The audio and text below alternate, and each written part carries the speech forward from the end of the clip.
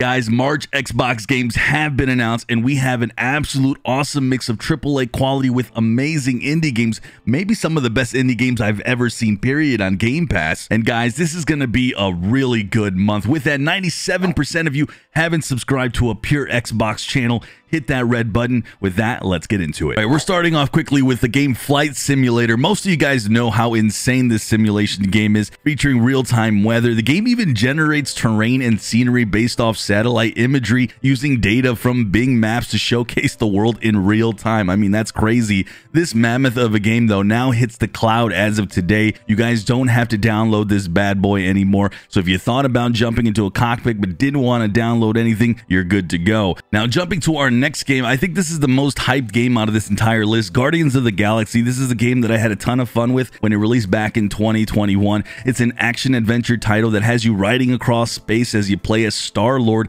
leading, of course, the ragtag group of the Guardians. Now, for me, the gameplay in this game was just absolutely smooth and fun. The visuals were sometimes super gorgeous. I mean, I would just sit back and take it in. But two things I absolutely could not get enough of with Guardians of the Galaxy was the story. It was freaking hilarious. You're going to get tons of laughs playing this. Also, the insanely awesome 80s retro music. Guys, I don't even like 80s music. So for me, this was a gem of a game and it also has tens of thousands of positive user reviews. So it's very much loved and easily the highlight. If you guys are interested in Guardians of the Galaxy, it hits March 10th on both console, cloud, and PC. Now, what was one of my favorite indie games of the past few years was the game called Far Lone Sails. This was the first iteration of the franchise. Now, I'm going to be completely upfront with you. I hate puzzle games with a passion, yet when I played Lone Sails, I was completely blown away by what was some of the most clever and enjoyable puzzles. Also, the beautiful visuals and the kind of like that atmospheric experience that I got with that game. But the new iteration, Far Changing Tides, this is a completely brand new game, is bringing in more of the same goodness with the sequel with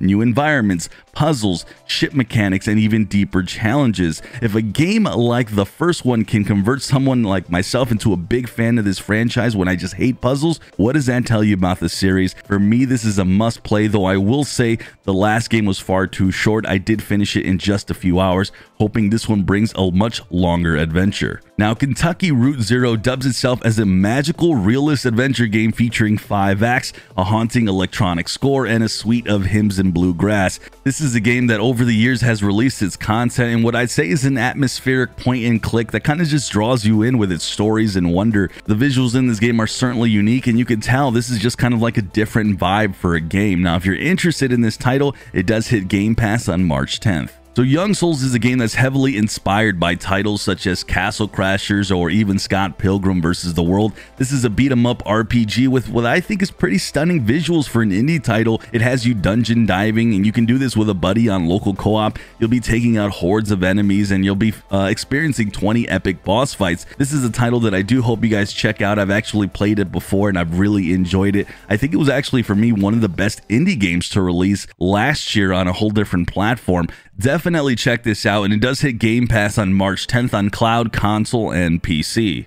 So Lightning Returns is the conclusion of the Final Fantasy XIII saga. It's probably the best chapter in the series, marked by stunning battles. You'll go and experience a new world you'll explore. You play as Lightning, blessed with incredible strength and tons of new weapons to use in battles, but you must find a way to not let the world end in 13 days. Now, this game kind of shows its age since it released all the way back in 2015, but if you're a fan of the Final Fantasy franchise, you'll certainly be familiar with this type of story, the enemies, but the gameplay, though, being so fast action could be a little different than the normal strategy you usually face in the Final Fantasy series. Either way, what is in my opinion a pretty darn good game. It does release on Game Pass on March 3rd for both consoles and PC. Finally, guys, so have you guys ever thought about what it would be like to take the most glorious lawnmower and maybe mow the lawn of the rich and famous? Was your answer no? Probably, but if you did think about it, Lawnmower Simulator is the authentic experience you're really not going to find anywhere else. Now, in this simulator, you can mow the great lawns of the British countryside using the top lawnmowers in the business from Toro, Scag, and Stiga, all the while you manage your lawn mowing business in the career mode. So, this is a game that's very in depth. I mean, you actually perform ground checks to set the blade height, you measure your engine load, and if all this was just too much excitement to contain. No worries, guys, as this is set to hit Game Pass on March 10th for cloud, console, and PC. If you guys enjoyed this Xbox Game Pass video, click this video right here to get more Xbox Game Pass recommendations, and I'll see you in the next video.